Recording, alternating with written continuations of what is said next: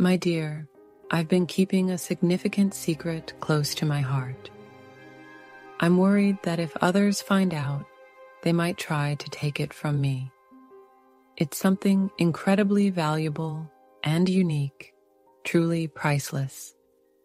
I've been doing everything I can to safeguard it, but I'm still afraid of losing this precious treasure. Do you know what this precious treasure is? It's a real life angel, pure and kind. Your smile embodies the innocence and sweetness of your heart. When you smile, it feels like the entire world lights up with joy. You are incredibly special, and that angel is none other than you. I consider myself the luckiest person because God has blessed me with my favorite person in the world. The love and care you constantly give me are invaluable. Your sincerity, dedication, and devotion are truly admirable.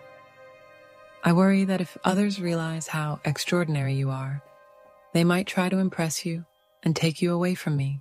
I love you deeply, more than I've ever loved anyone before. Before meeting you, I didn't know someone so beautiful could exist. You've transformed my life into something heavenly. You are my most treasured possession, my most priceless gem.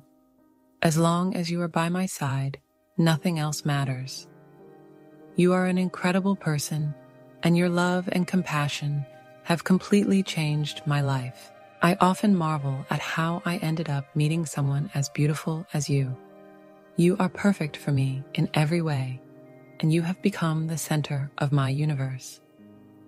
I want to spend my entire life loving and caring for you, and I can't bear the thought of being apart from you even for a single day.